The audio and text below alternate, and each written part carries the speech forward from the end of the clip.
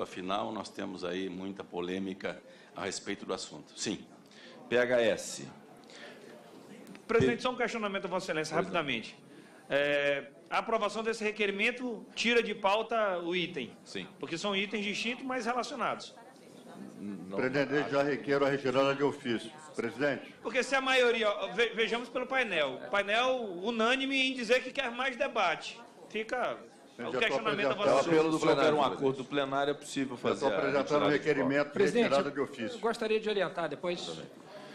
Perfeito. Em relação à sugestão de Vossa Excelência, deputado Rubens, eh, na verdade, nós precisamos submeter à apreciação do plenário o requerimento, deputado Zé Carlos,